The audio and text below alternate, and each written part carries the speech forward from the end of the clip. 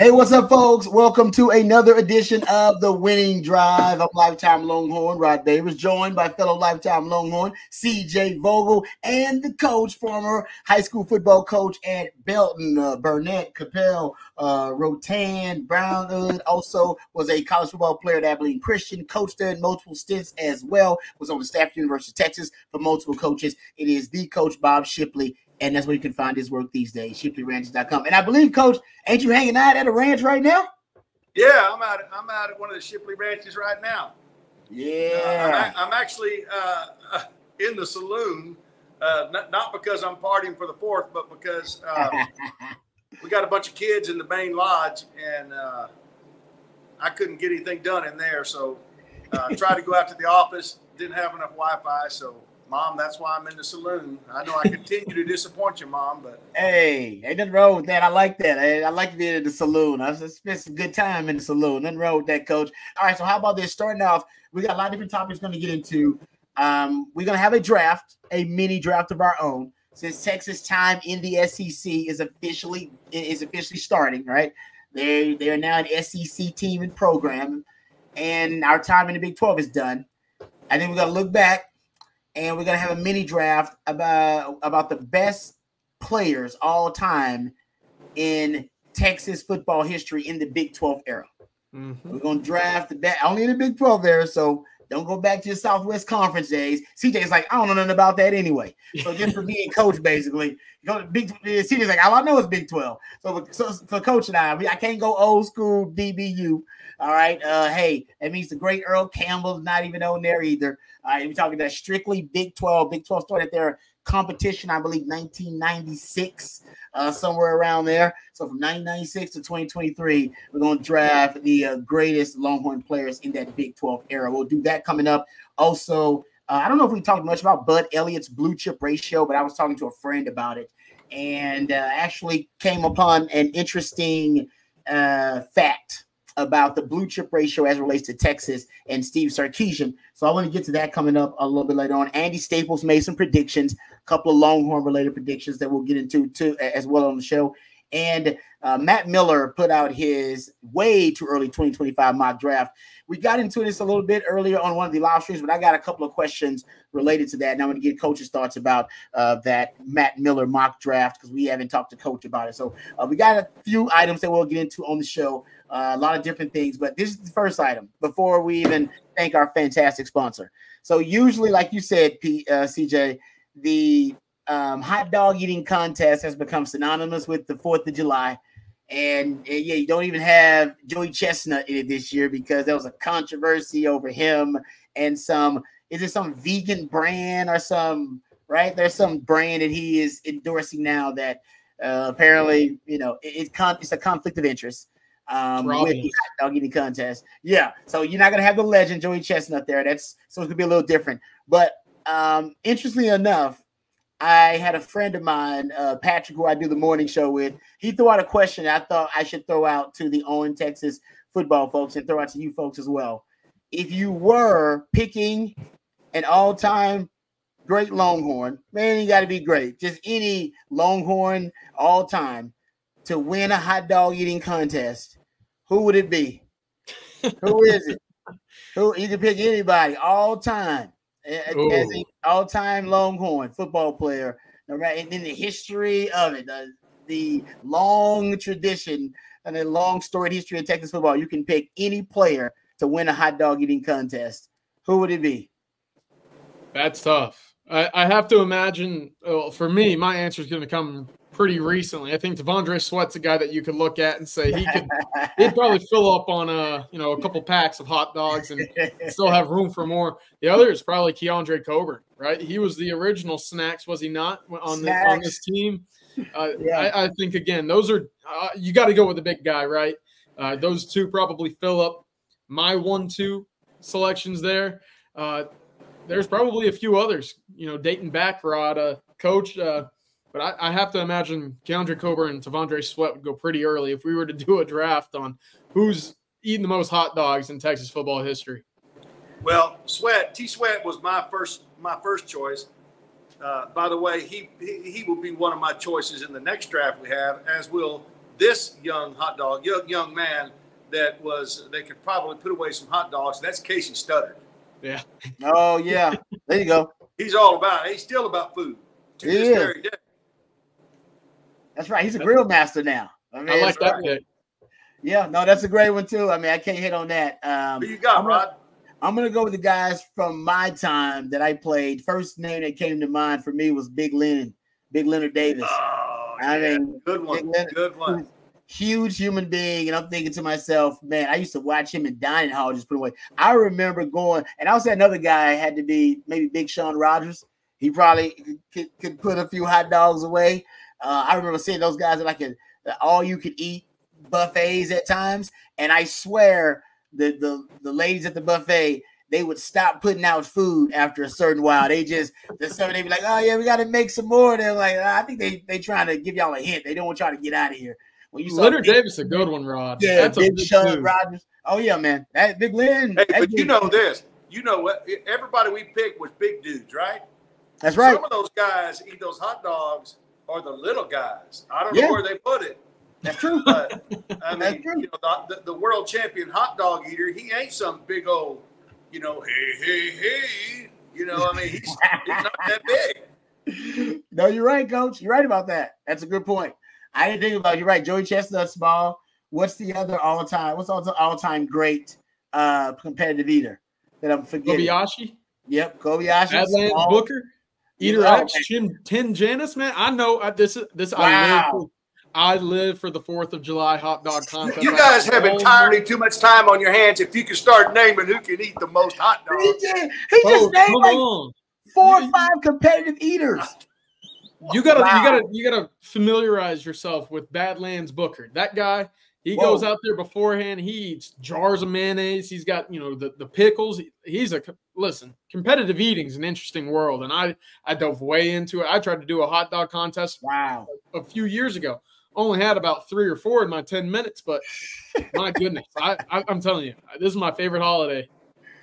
That is uh I ain't gonna lie. That's I'm I'm blown away right now. That's how you know. That's how you. That's the test. That's the litmus test for the guy who really loves Fourth of July. How much do you love the Fourth of July?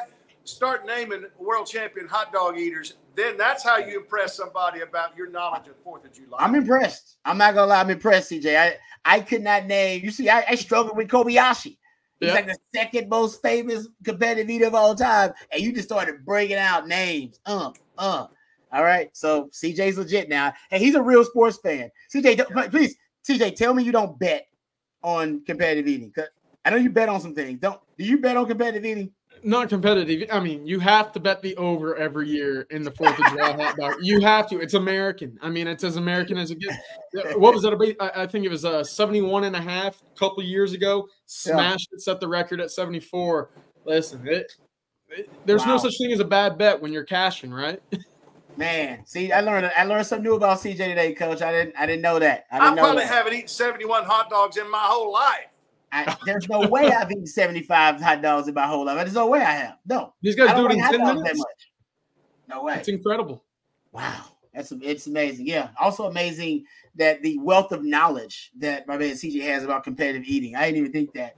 I don't have the brain space really to, to know that being competitive eater. So I appreciate that, CJ. All right. Uh, before we continue, uh, let's thank one of our uh, fantastic sponsors. Uh, let's thank the folks over at South Point Dodge. We're really excited about them being a part of the On Texas football family. Uh, and I got to tell you, folks, if you need a new car or a new truck, you need to head on over to and see our friends over at South Point Dodge. You can score an easy extra point this season when you get to the point at South Point Dodge. They have over 600 vehicles in stock right now, including a great selection of Ram 1500s, 2500s, and 3500s. Whatever your truck needs, South Point Dodge is your one stop shop. You can score big today at South Point Dodge. Also, remember, you can get a great deal over at South Point Dodge. Uh, right now is a great time for you to head on over there. They have uh, Ram 15 2500s all marked down with huge savings. You can go see them at southpointdodge.com or go check them out in person off of uh, I-35 in South Austin. Uh, they're in person there at South Point Dodge. Uh, so we appreciate them. Score big today at South Point Dodge. All right, let's uh, get to our draft, gentlemen. We'll get to the draft and then we'll get to some of the other topics. So, similar to the draft, we'll go five rounds. Um, I'll go last. I always go last, just because I want to make sure it's fair. But you guys can choose between Coach and CJ which one you guys want to go first overall if it matters. Um, but we're choosing, uh, we drafting, I should say, five rounds, and we'll go snake draft like we always do. Uh, we'll go five rounds, drafting the best players, best Texas football players in the Big 12 era. And uh, we'll go five rounds snake draft. I'll go last. You guys, I don't know, y'all want to toss a coin? How y'all want to do it? How y'all want to choose? See, I think CJ, through his knowledge of the 4th of July, deserves the first round pick. Thank you, Coach. I'll, I'll, gladly take it. I'll gladly take it. And I think there's only one right answer yeah. for why this is the, the number one overall pick. We're going Vince Young. Oh, oh, oh, that, oh, that wasn't. Oh, yeah, I, I was gonna say that's not a guarantee. Hey, coach. That's a you, coach. That's a good one. So that's a good one. hey, the OG is going with uh, Ricky Williams. Yeah. Okay. Yeah. That's me. You could have done that. That there, there, there is no wrong pick. There nope. is no wrong first, second, probably no. ten picks. Probably nothing. Yeah. no. No, you're right about that. There, there is no wrong pick from between those two. It, that was one and two. You could have, you couldn't have gotten. yeah, you're right. Yeah, you're yeah. right. Now, what, I, you leaning one way or the other there, Rod?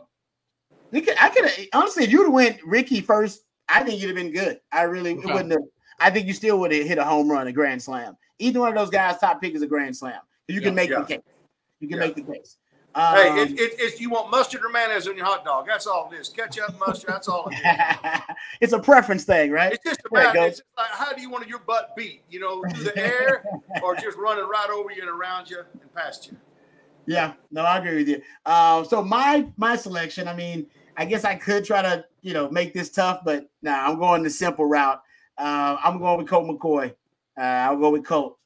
Pretty easy for me, uh, no doubt. All right. Now, now are you? Um, we're snaking it, so you get this sec this uh this next pick, right, Rod? Yeah, and okay. this one actually now it gets interesting. Yeah, those, now, those are the three guys in the in the Big Twelve era that have their jerseys retired. We probably should have taken them out of it, honestly. We probably should be like, nah, you can't take them three because it's too easy. We basically gave all ourselves a gimme in the first round. Now it gets a little tough here. Now, like there are a number of different ways I could go. Hey, Man, at least uh Rod, at least we we went one, two, three with these guys, right? You know that yeah. kind of solidifies our Texas ball knowledge to a, to an extent, right? We didn't, Agreed. Yeah. didn't have these big names fall into the third, the second, and third round, right? Yeah, I may get heavily criticized for this pick here. I mean, honestly, because like I said, I could go. There are like four or five different ways I believe I could go here, and I and I could justify it. Um, I really could, but okay. Ooh, I'm on the clock here. I gotta tell you, this is uh, it's tougher and tougher the way I'm kind of looking down my list of guy, of great of all time greats here. Okay, you know what? I'm gonna, ooh, I'm gonna jump to the defensive side of the ball here. We got a lot of offense, a lot of offense, man. We got some all time greats defensively. Ooh, how about Tommy Nobis? Boom. Tommy Nobis did not play in the Big 12, dog. Oh, my bad, my bad, my bad, my bad, my bad. All right. Hey, I was looking at all time great. Usually that's the kind of thing I would do, and you're saying. I apologize. I, I, I, I, was looking at a list of all time greats. You're right. I missed it. I misspoke. Derrick Johnson. And he's giving you a hard time. Yeah. No, I, I mean, apologize. That's me. Derrick Johnson. I lost my train of thought. I apologize. All right. Derrick Johnson. Derrick Johnson. Guy help recruit. There you go. My apologies. All right. My up? You're yes, up, sir. coach. I'm going with the real ET Earl Thomas. Oh, that's a good one. Oh, I, I like how you went. I like how you went with a DB. Okay, you know what? I respect that. I respect that, coach. As a member of DBU, I respect you going with Earl Thomas instead of some of the other guys. I like that. Earl Thomas. All Let's right. see. All right, so I've got two here. All right, so I guess it doesn't matter what order I go in here, but but I like what I'm doing. Coach, you're gonna like this one. I got my wide receiver. I'm going uh Jordan Shipley. He is the goat. I'm, I'm glad I didn't want to have to draft that white boy.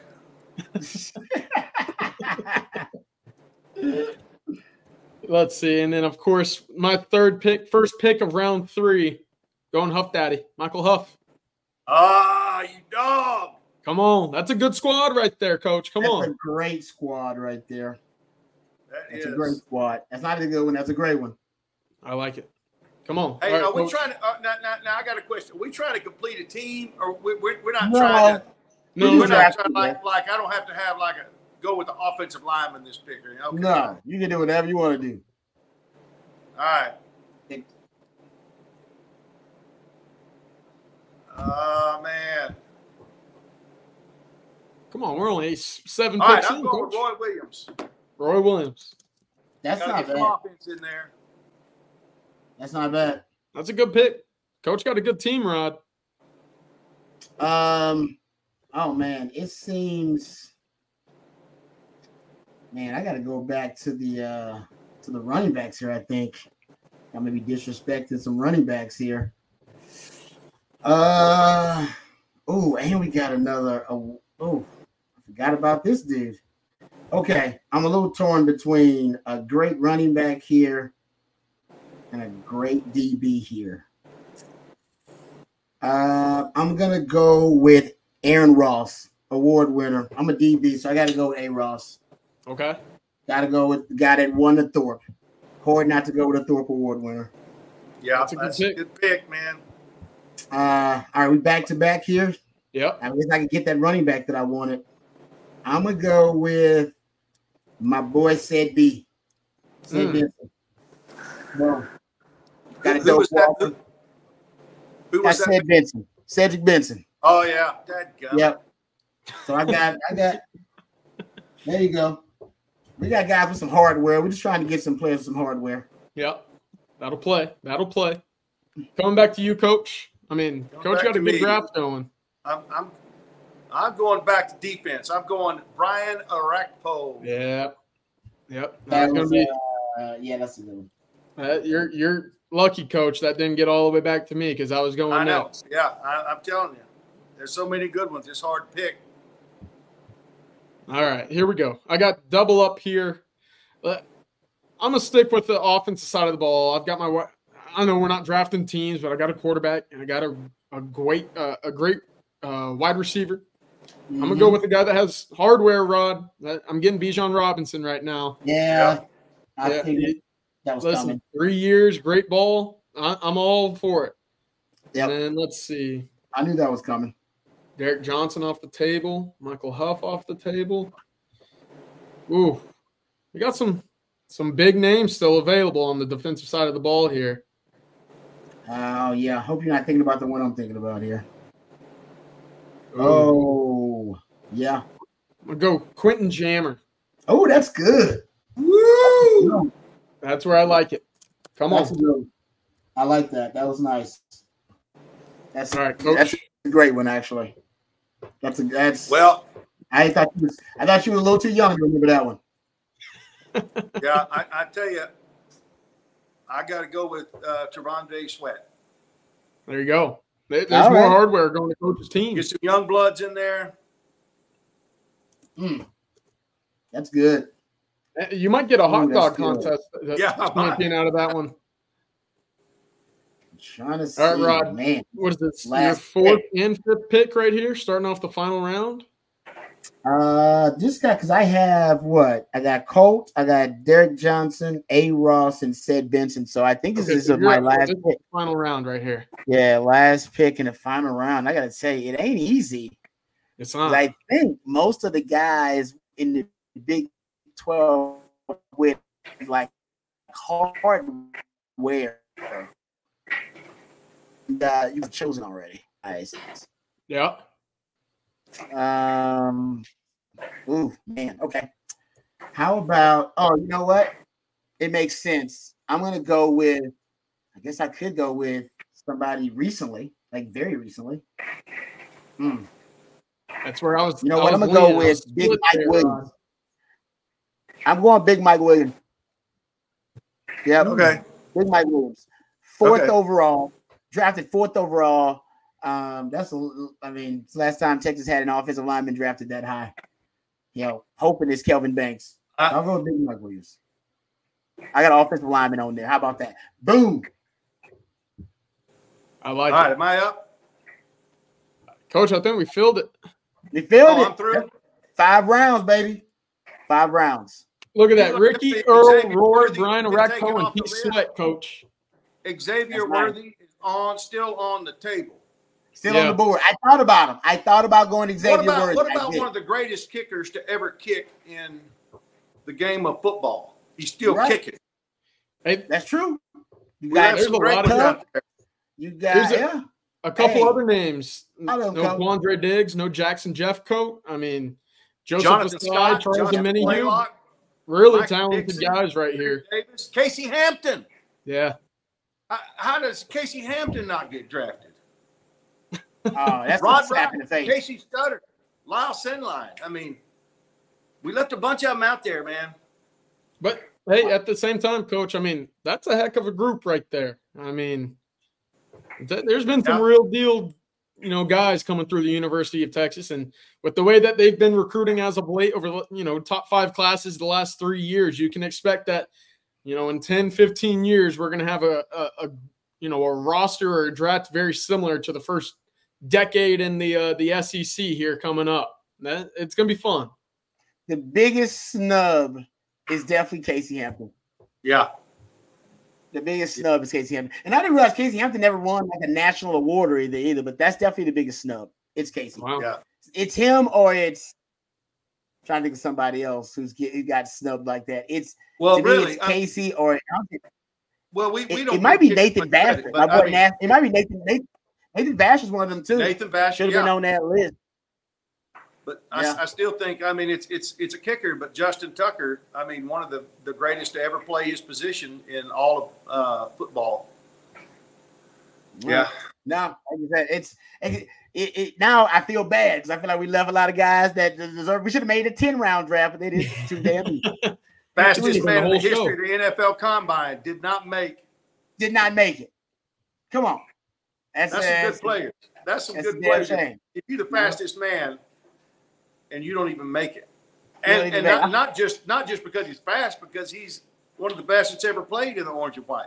Yeah. I totally agree. Top five all time receiver at, at Texas. I'm with you. I- hey, coach, you know what? See, now you want me to redraft. Redraft. Do it all over again. Redraft. Hey, we could redraft and have almost as impressive as a group, minus the first four or five picks. Yeah. Yeah, we could.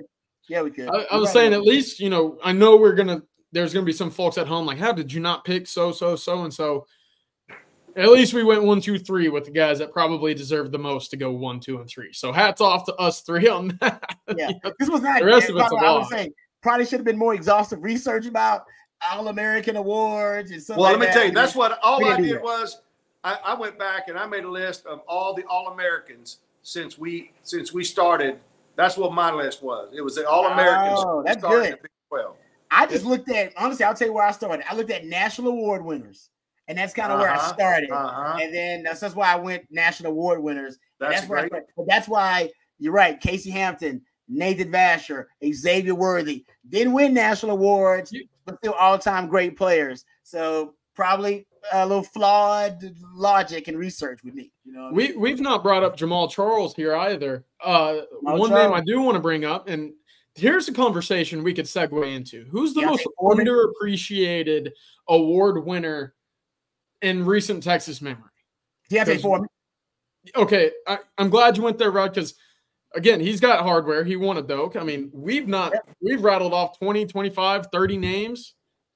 He's he rushed for what 2100 in a single season? And we've not even come close to mentioning him in the top 15 of players in the Big 12. I know it was only that really that one big year that kind of spurred him up to uh, you know, that national kind of headlines and, and notoriety there, but I, it's hard to imagine there's another player that Texas has had in recent memory that won a national award and does not get that kind of recognition amongst its fans. That's D'Onta Foreman for me. That's a great point, man. You're right. It's D'Onta Foreman, and maybe didn't Jackson Jeffcoat win one? I I don't know if it was like a one of the high like the one that's highly celebrated ones, but I want to say that he was on that list too. Um, and maybe he's kind of the ones that that's underappreciated um, as a national award winner. Um, Yeah, he so won yeah, the- you're right about that.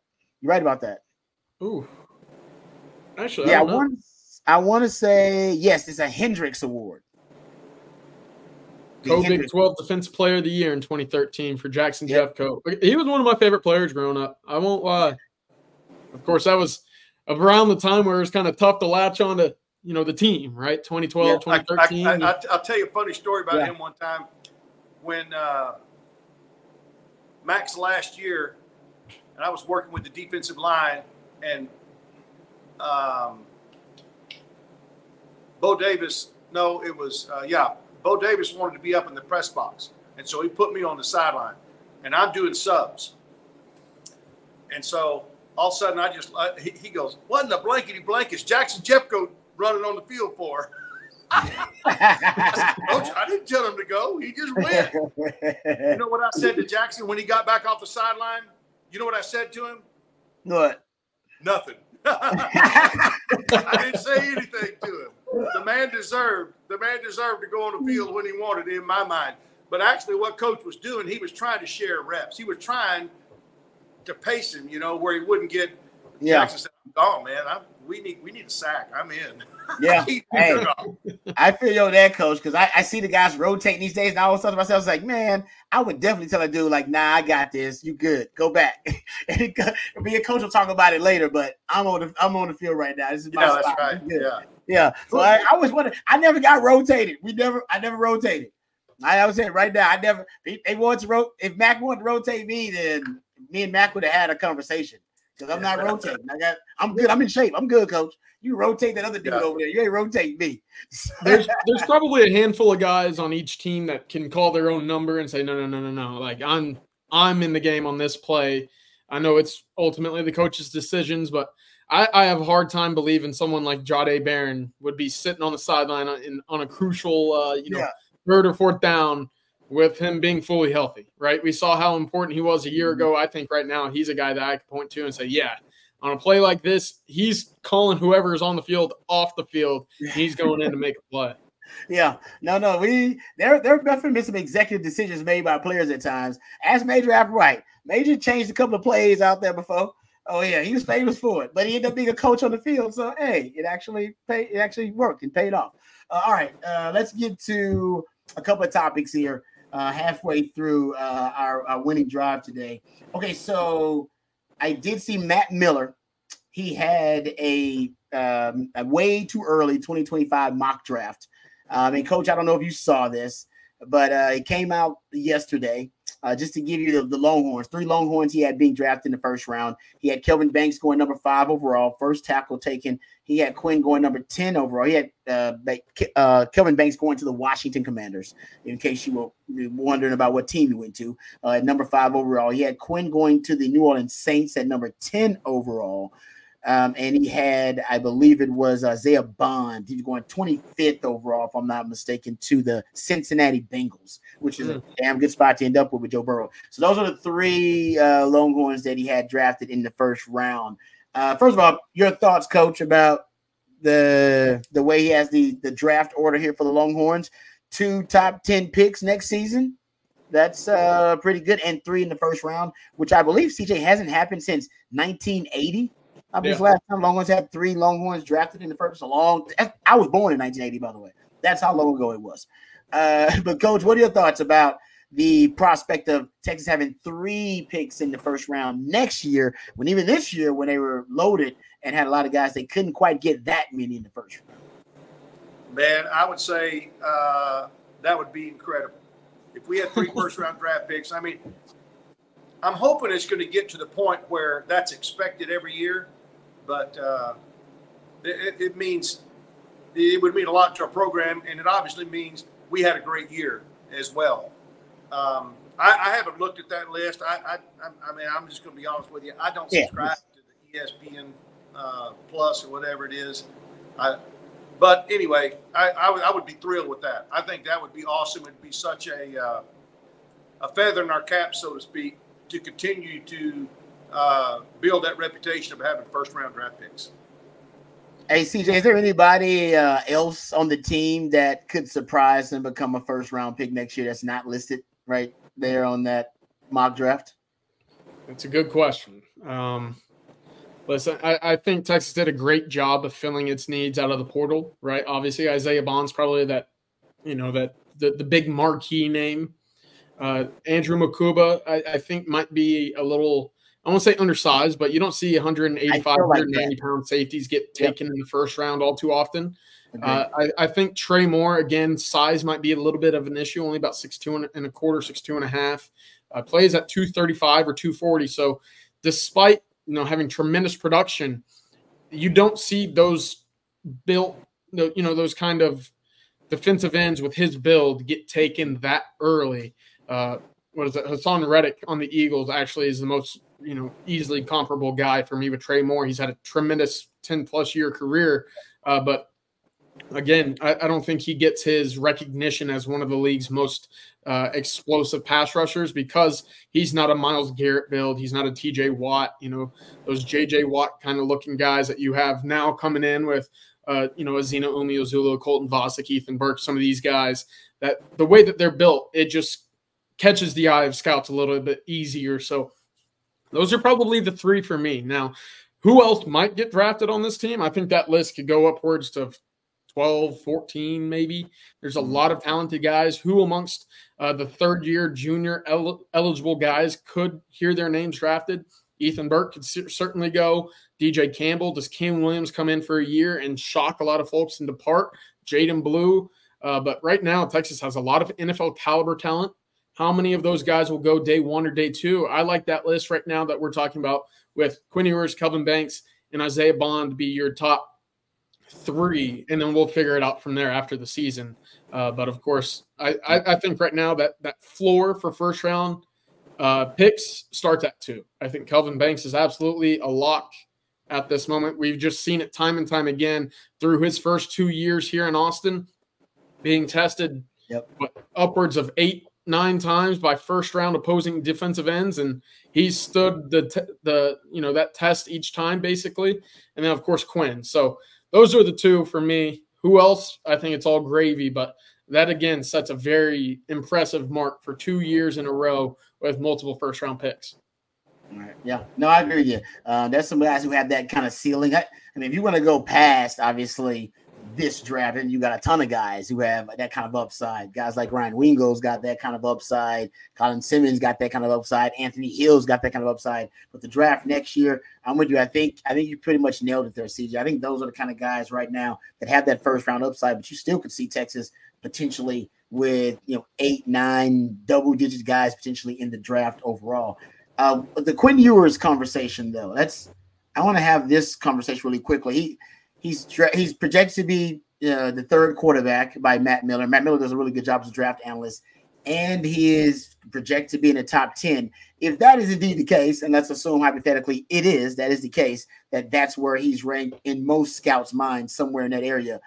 What does what what does he have to do to get to the top spot to be the top quarterback taken overall ahead of Shedeur Sanders and Carson Beck? And what does he have to do to be the number one overall pick, which is not out of the realm for a guy like Quinn. It's got to be one of his goals, I'm sure, as a youngster to be that guy. He had that kind of, or he does have that kind of upside.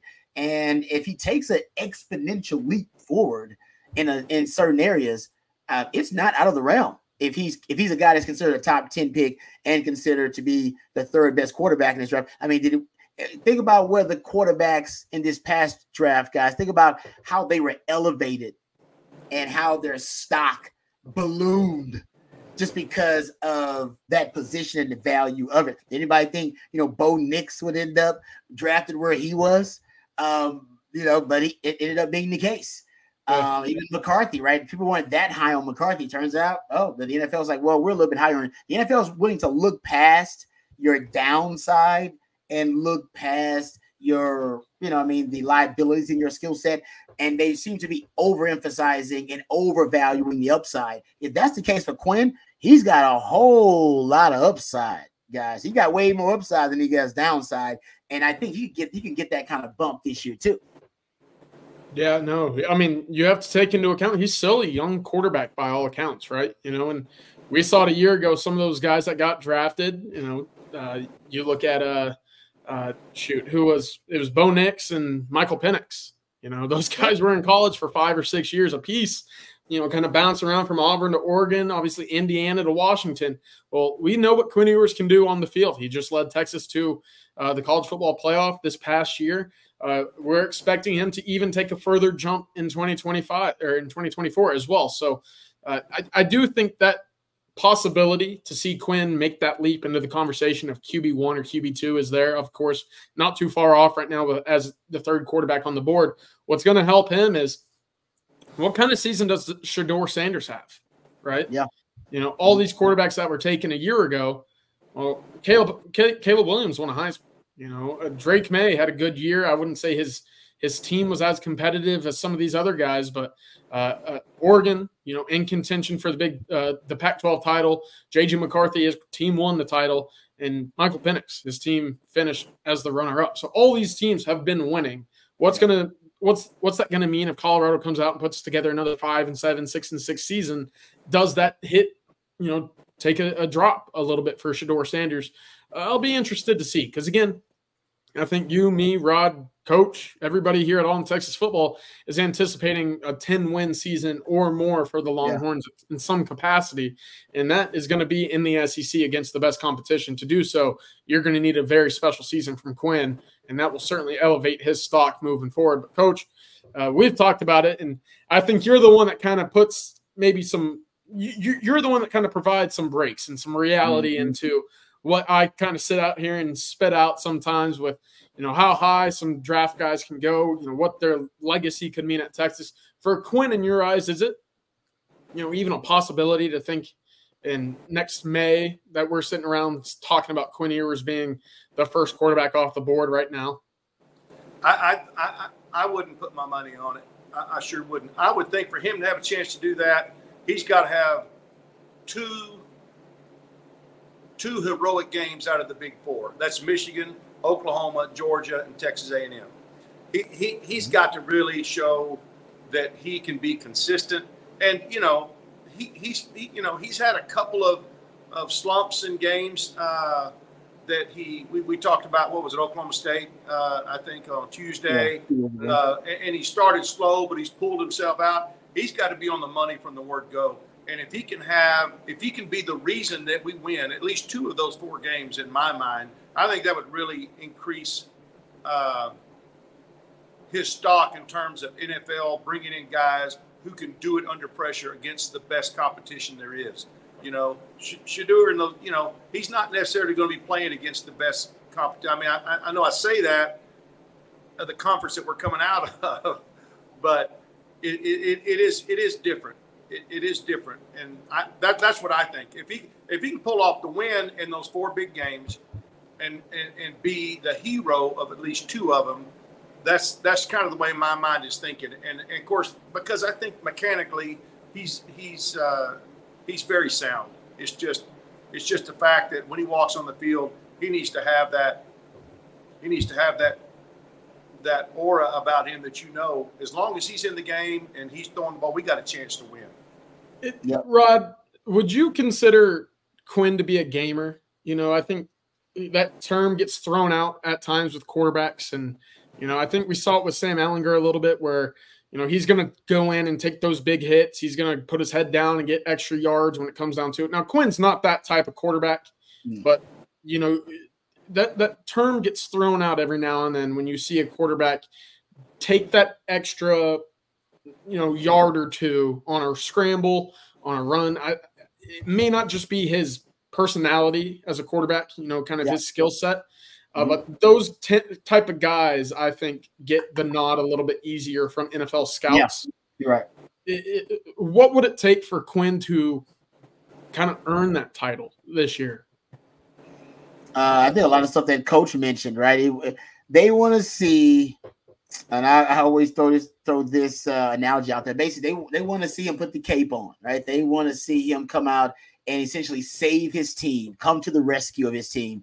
Uh, if they want to draft you number one overall, they want to see that capability, as I like to call it. Joe Burrows, your Caleb Williams, your Trevor Lawrence, your Kyler Murray's. Those guys showed some of that in college. Um, right. And I think Quinn has flashed it at times. But this year on a big stage versus, and that's why I think that Michigan game, I agree with Coach, it's huge.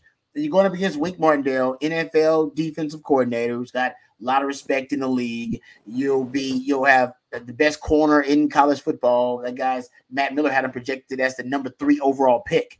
Will Johnson. I mean, he just got would have been the top corner taken in the last two NFL drafts. Yeah. You'll be going up against him. They got the best D tackle duo. Another guy projected in the top 10 was that D tackle. Uh, they have a, uh, Mason Graham, I believe is his name. So they'll have seven, eight NFL caliber guys on the defense side of the ball with an NFL caliber defensive coordinator running an NFL scheme, pretty much what the Baltimore Ravens ran under Wink Martindale, and with Macdonald, who's now the Seahawks head coach and mentor before that, because they were all proteges of Wink Martindale. So they're all running the same system there. So it's an NFL system, NFL defense coordinator with NFL caliber players on it, and you're gonna have Quinn on the road.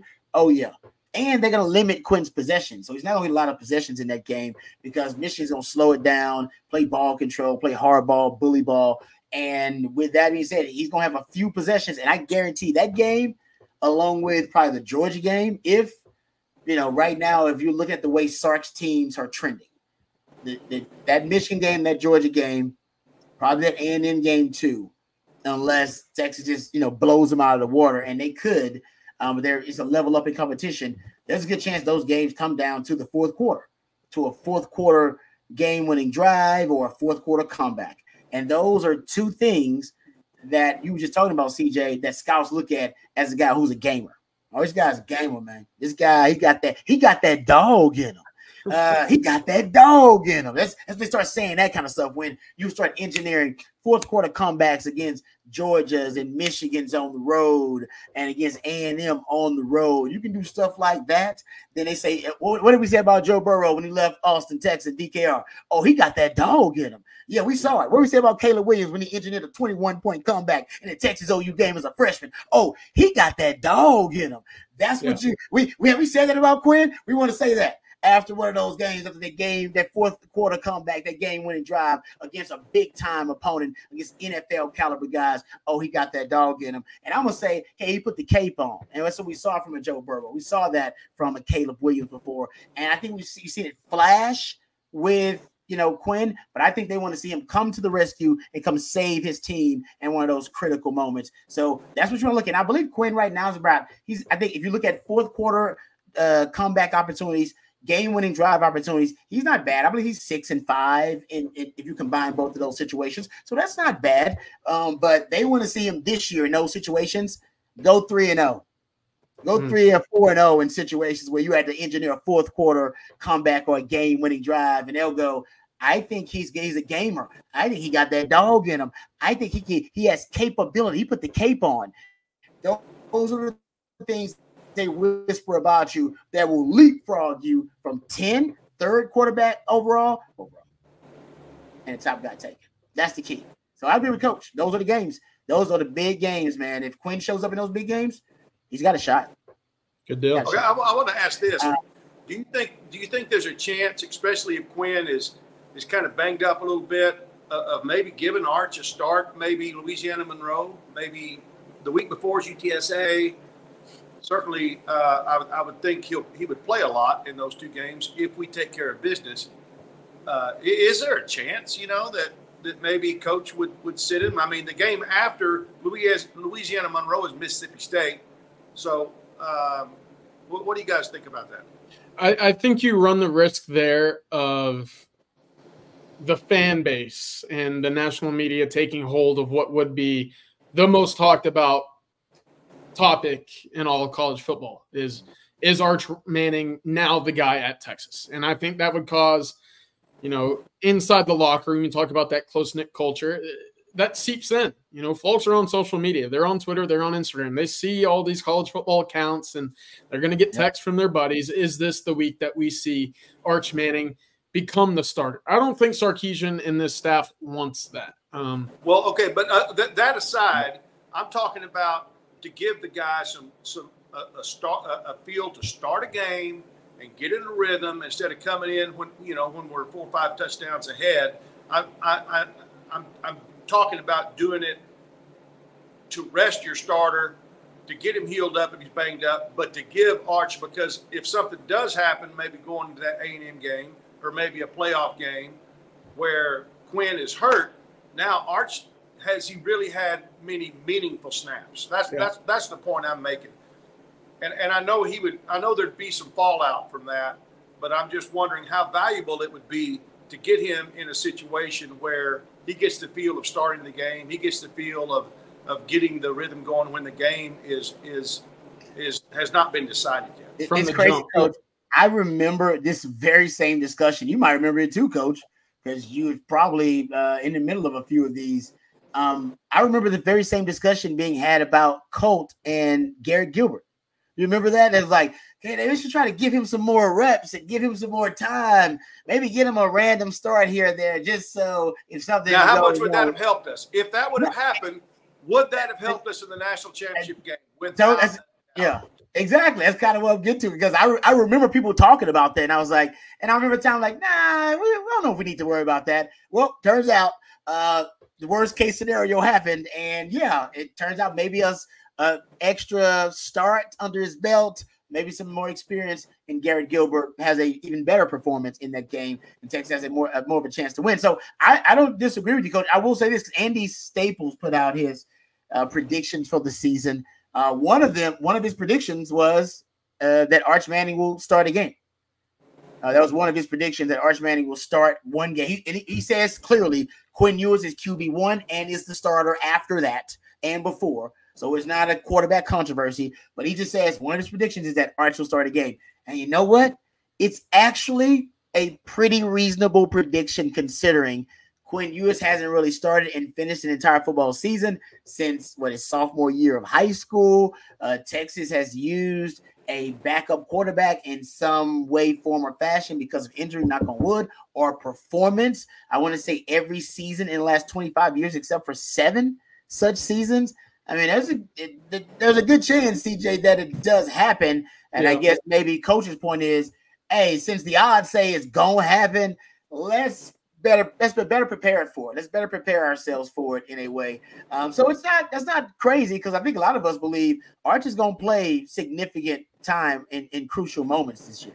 Coach, if you do give Arch a start, do you? Do, and I know that the talent level is significantly di- different than what we've seen the last 15 years, but you know we've seen it time and time again where Texas makes the change at quarterback, and you all of a sudden might like what you see, but if you have to go back to the other quarterback, he's not necessarily in that rhythm, right? Hudson Card, Casey Thompson, 2021, those guys are playing musical chairs. You go further back, what was it? Uh, Jerrod Heard, Tyrone Swoopes, you didn't have a consistent piece there. David Ash, uh, you know, Case McCoy. You were sitting there basically rolling the dice, playing roulette, basically saying, what kind of performance am I getting out of my quarterbacks this week? Because I don't know if they're in a rhythm. I don't know if they feel like they are comfortable as the starting quarterback right now. Maybe they're always looking over their shoulder. Maybe they just don't have it mentally that week. If you do that with Quinn, if you do that with Arch, does that run, you know, does that run the risk of maybe not getting the better of the two for the remainder of the season? I, I don't know. It, it, it would be a risk, but I think to compare our quarterback situation now with those and, years is it's it's like it ain't even close. Thank I'm just trying to play devil's advocate here. I understand no, yeah. the talent's a little. Another thing, you know, I, I, like to throw out both sides, and, and the other side of that, if our if if Quinn is having a hot year and he's in contention for the Heisman, how much value does it bring to your program to have a Heisman Trophy winner, especially a quarterback? And do you want to mm-hmm. take a chance on losing some votes, saying, "Well, he's not tough enough to make it through the season," or you know, they pulled him because you know, he's not whatever, you know, for a game. Do you want to risk the chance of him losing out on a Heisman if he is in the talk uh, for the Heisman, which we expect him to be? Mm-hmm. Yep, should be. Man, you know what? That and that is good. I, I think. I think he will be in the conversation for the Heisman, but I think those games that we talked about, Coach uh, and CJ, uh, they will provide the Heisman moments. You want to win the Heisman, you need Heisman moments, and they have to be in big games on big stages he'll have all the opportunity he needs to win a Heisman. Michigan, Oklahoma, Georgia, A&M. You got he got he's got, he's got and he's got to make good parts of the season. He's got one at the beginning, big game at the beginning where the nation's going to be watching Texas versus Michigan. You got right there in the middle where you got versus Oklahoma, everybody's watching, versus Georgia, nation's going to be watching again. And then at the end of the season, Texas, Texas A&M, nation watching once again because you're rekindling the rivalry. He's going to have four big stage opportunities to have those Heisman moments. And if he does, he should at least be in New York City. Yeah. Yeah. We'll uh, all right. I, know we are getting close to it. Let me uh, take this time to thank uh, another one of our fantastic sponsors. We appreciate our friends over at Flat Creek Estate Winery for sponsoring the winning drive. Did you know that the most awarded wine in Texas is actually the vineyard closest to Austin? That's right, folks. Flat Creek Estate Winery is just minutes from downtown Austin, and they've won award after award this year for their vintage wine, Super Texan. Super Texan is now available at your local spec, so give it a try. Of course, Flat Creek is also a gorgeous venue with barbecues and wine tastings every single weekend. It's perfect for a day date with your significant other or just a getaway weekend. Go check out flatcreekestate.com. That's flatcreekestate.com. Um, or you can go uh, check it out for yourself or go to Spec's and you can go see some of that uh, Flat Creek wine there as well, the Super Texan. And I don't know if, you know, they want us, you know, talking about it, but I'm talking about it because I actually like Flat Creek wine. They're at Central Market too.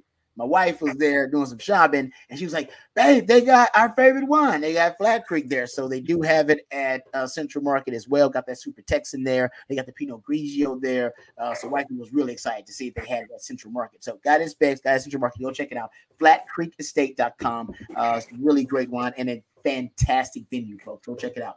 Okay, let's get to. I think we got one more topic I want to get to before we get out of here, guys.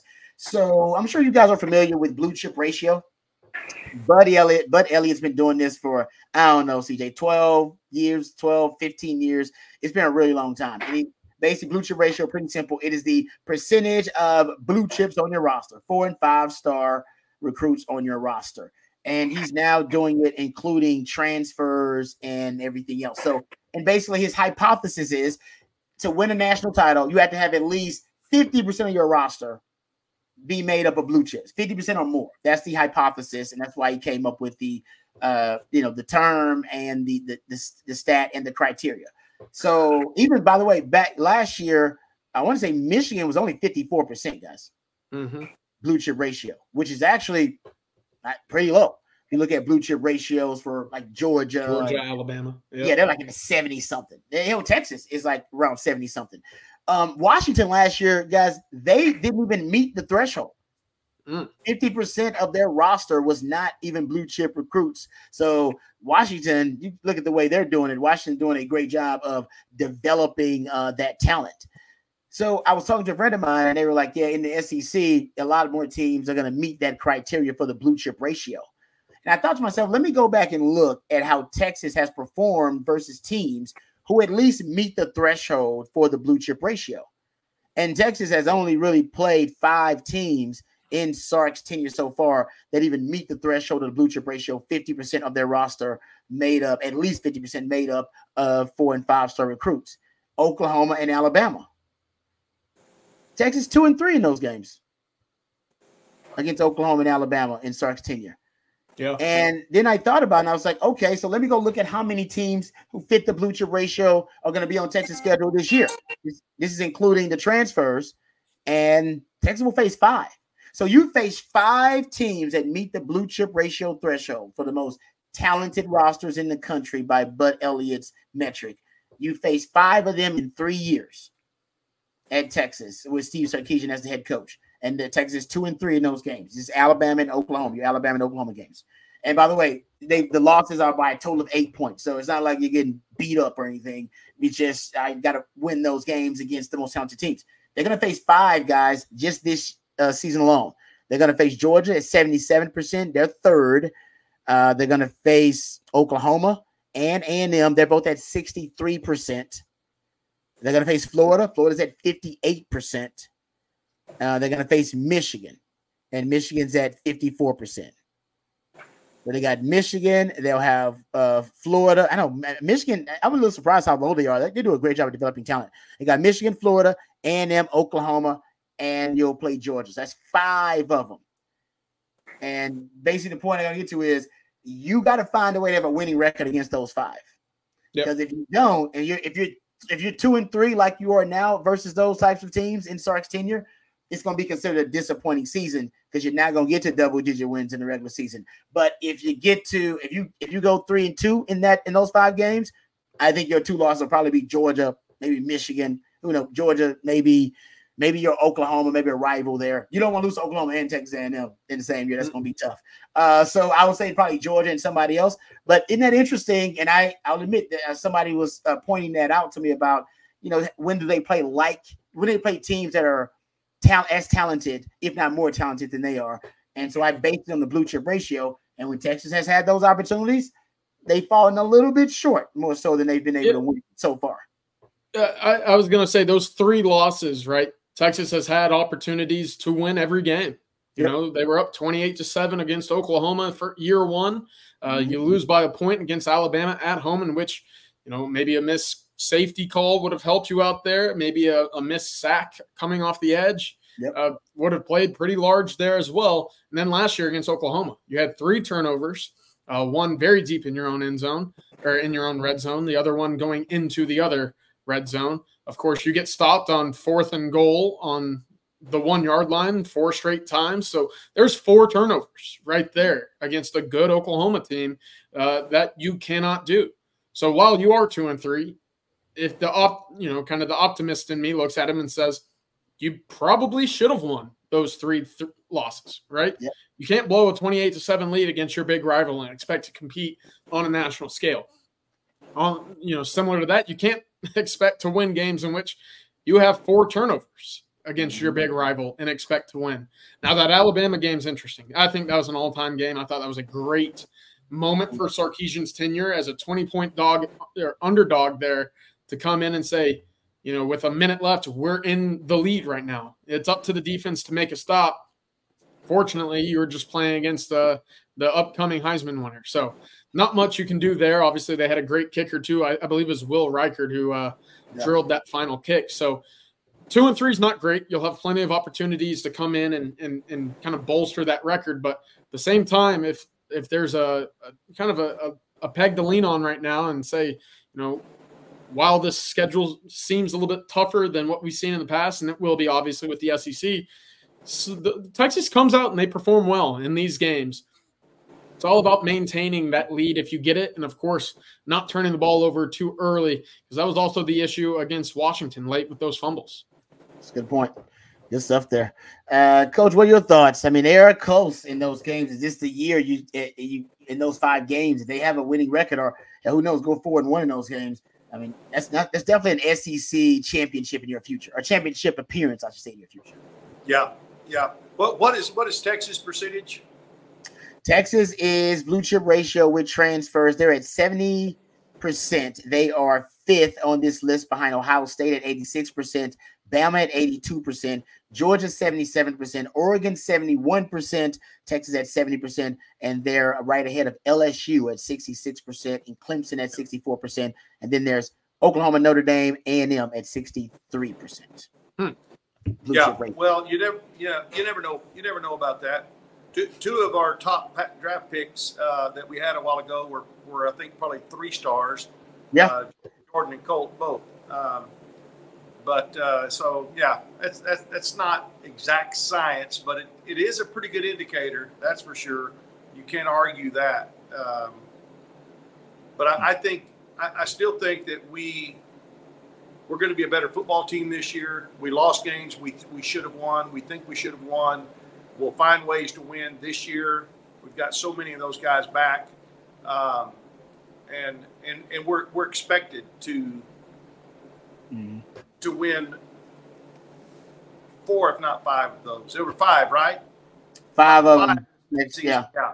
Yeah. Yep. I, I, I, would I would love to see us. I mean, I'd love to see us go five and five, but the reality is, you know, three out of five, four out of five. Um, oh yeah, that would be damn good. Yeah, it would. Um, all right, guys. I think we're getting ready to wrap it up. Thank you guys for joining us for a Fourth of July edition of the Winning Drive. Uh, once again, thank you to our sponsor, South Point Dodge, and thank you to Flat Creek Estate Winery. We appreciate them for all their support of the Winning Drive. I want to thank uh, the folks uh, behind the scenes. Thanks, Matthew. Thank you guys for listening and for watching. Uh, thanks to Coach. Uh, and thanks to my man CJ Vogel and for the On Texas football team. Until next time, remember the Winning Drive will be back on Monday, of course. I'll be back 4:15 to around 5:30. Uh, tomorrow we'll have the live stream uh, at 1 p.m. The Friday live streams. You want to stick around for that as well. For CJ, for Coach. Until next time, hook 'em horns. Happy Fourth.